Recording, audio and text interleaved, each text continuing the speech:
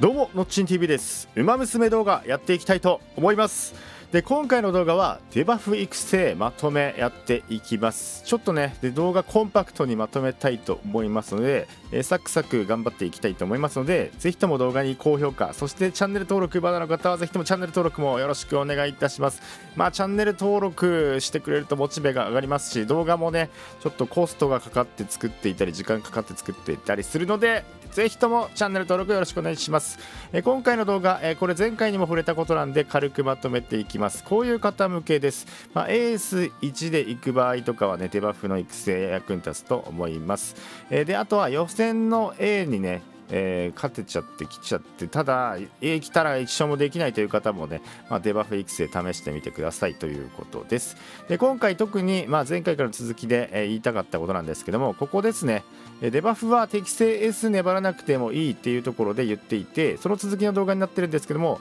デバフ育成はまあ1日でできることなので、まあ、もしね気が向いたらやってみてください。特に例えばま1育成からま3育成とかね3回育成するぐらいでもねできたりするので、え試すのもありだと思います。はい。で前回の動画では、えー、スタミナデバフを解説していました。で今回は速度デバフも交えてのデバフ全般の話と、えー、育成方法そして知識ウマ娘の知識について話していきます。はい。でまず速度デバフなんですけども今回積みたいデバフで速度デバフのものは、えー、こちらとなります、え、逃げためらい。そして先行ためらい差しためらい。ここら辺は積んでいきたいです。で特にまあ逃げね。水右マルゼンスキー、えー、こちらを対策するために逃げためらいはまあほぼ必須で積みたいです。で先行ためらいも、えー、逃げためらい積んでいく場合ね積みやすかったりするのとあと先行も強いので逃げ先行ためらいをまず積んでいきたいです。であとは差しためらいも積んでいきたいということで、まあ、ここは、えー、今のねえ、チャンピオンズミーティングのメタ、え、そういう、え、攻略というところでは追い込みためらい以外は、え、積んでいきたいです。追い込みは馬娘がね少なかったりする今回の条件ではですが今回の条件で追い込み少ないので追い込みはまあ積むのを優先しなくてもいいです。であとはですね今回中距離のチャンピオンズミーティングになっているので独占力が使えます。なんで独占力がある馬娘は一応独占力積んでいくっていうのがありです。で、えー、独占力がない馬娘だとしても束縛ねこれも速度デバフになるので、えー、この束縛というスキルも狙っていきたいということです。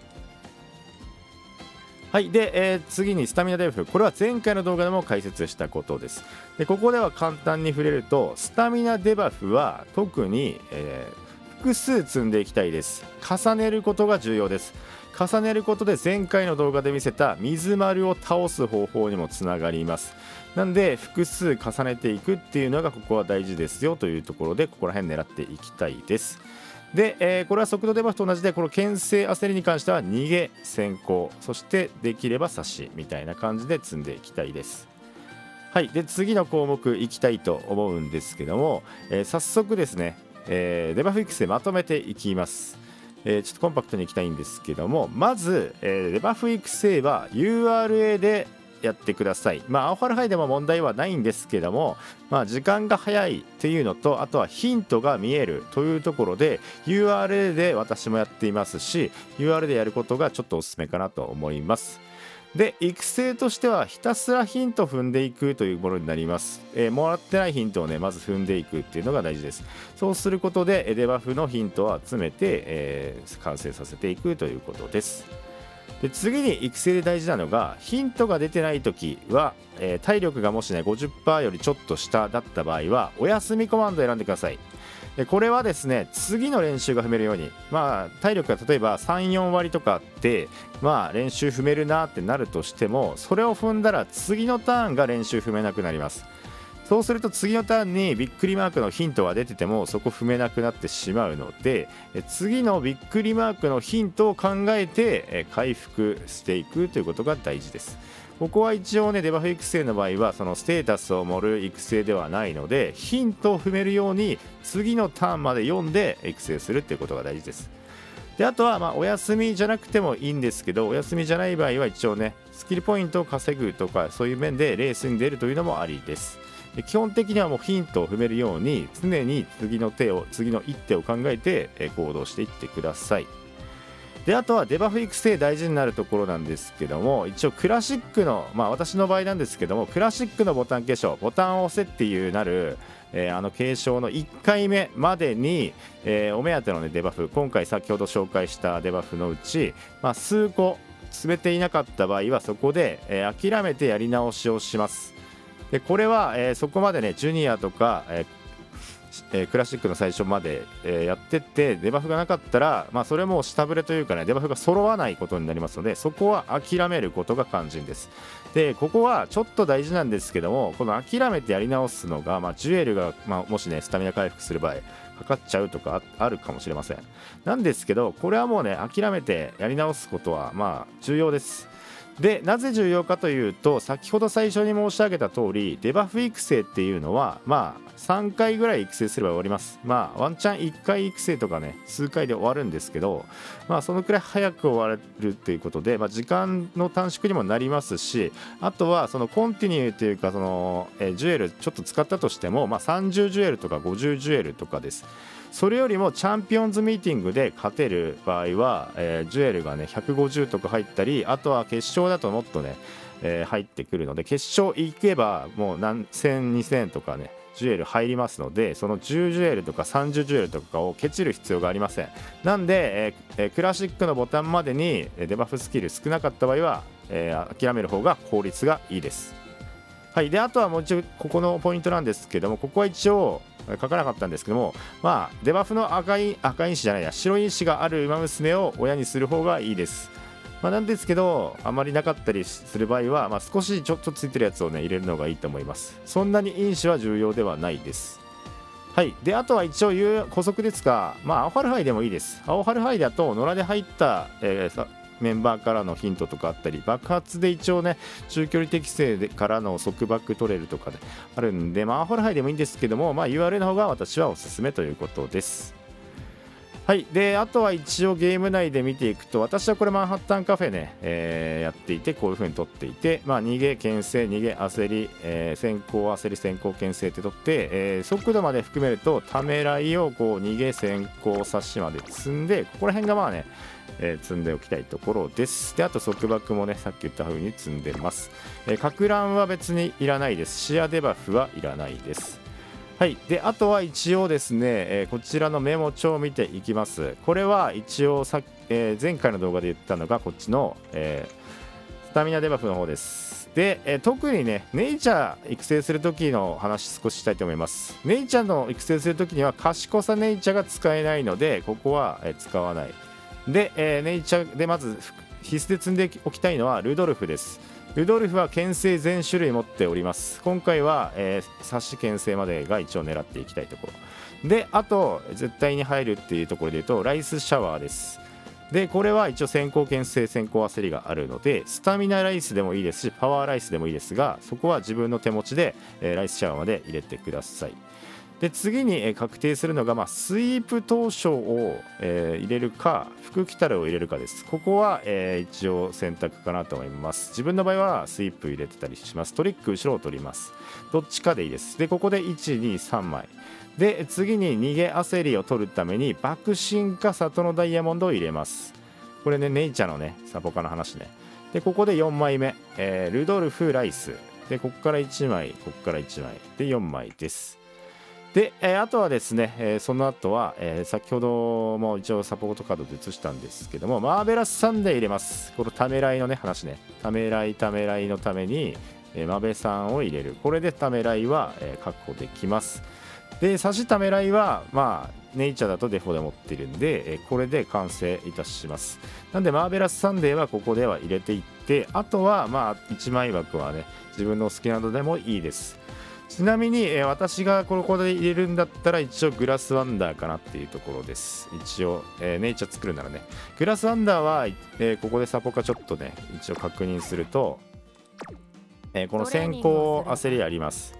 先行焦りがあって、まあ、さらにですね一応グラスおすすめポイントは、まあ、ありましてそこを解説したい。はいここで一応先行焦り取ります。で束縛安くできます。でもう1個あるのがこの差し切り体制ですね。えこういうえー、もし八方睨みを当てる型のネイチャーを作りたい場合はこのね加速ちょっとあってもいいです。で特にこの終盤の加速まあランダムですが加速していったらちょっと前に出た時に八方睨みが出れば逃げまで届く可能性が上がるというので差し繰り体制を取るのもありかなというところです。であとは先行駆け引きも一応あって、まあ、これもまあ別にスタミナ削るのに、え、長くすると削れる量が増えるのでありです。ただ前には行かれる可能性があるんで駆け引きはまあ一応流派あるんですけどまあ別に取れるなら取ってもいいと自分は思います、えー、ここまでのデバフを持ってデバフデッキで行くんだったら駆け引きまですればもしねかかった瞬間もう先行の馬娘終わりぐらいになるんでまあ積んでいいとは思います。でちなみに合脚は意味ないので注意してください。はいこんな感じです。はいであとはですね重要な知識ここでいきたいと思います。え先ほどの URL でヒントを踏んでいくんですけどもヒント潰しをしてください。これが大事です。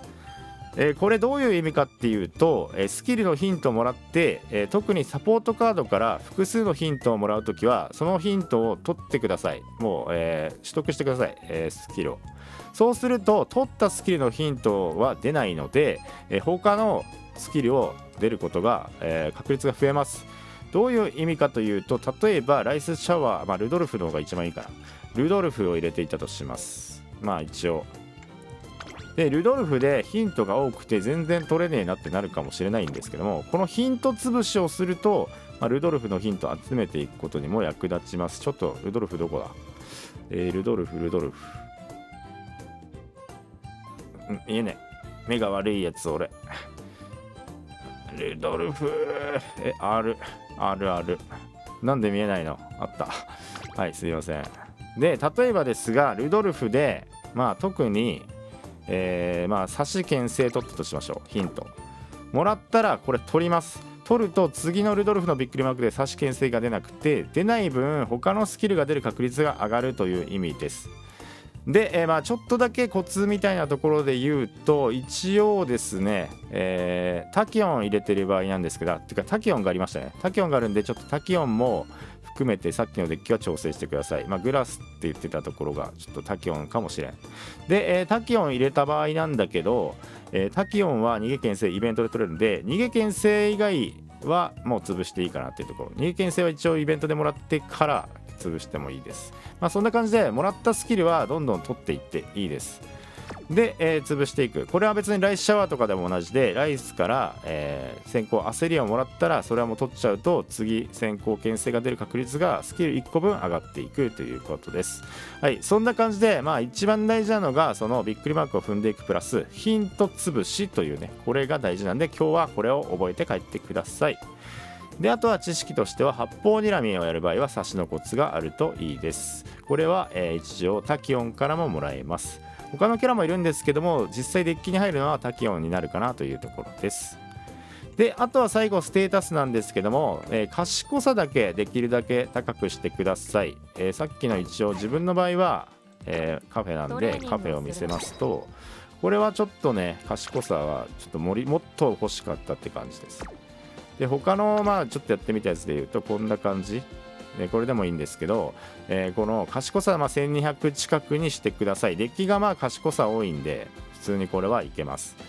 であとはここら辺のステータスはま B ぐらいでいいです。B プラとかでいいです。特に盛る必要はないです。で一応ネイチャーが八方睨みを届かせたい場合だけまあ例えば、まあ、スピードパワーとかを少しだけ持っとくとかすると少し前に出ていいです。しあと白スキルねちょっと取るっていうのがいいです。少し、え上がれるスキルをこう取っておいて前に行けるようにしていくっていう風に取っています。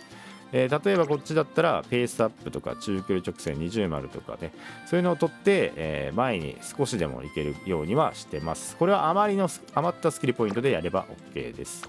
まあ、そんな感じで、えー、やってみてください。えー、まあ一応ですね、まあ、こんな感じで、これ試し育成とかなってて、完成形はこれなんですけども、こういう風にね、まあ、3回とかの育成でもできたりするので、えー、皆さん、特に、えー、チャンピオンズミーティングで1勝がもうできねえっていう方はねデバフ試してみると1勝もしくは3勝できる可能性があるのでそこでまあジュエルをね撮っていきましょう。それではのっちん TV でした。動画最後までご視聴ありがとうございました。前回の動画でも一応こういうね、えー、解説しているのでまあ見てない方は見てもいいかもしれません。それでは、えー、高評価ねよろしくお願いします、えー、のっちん TV でした。またな。バイバイ。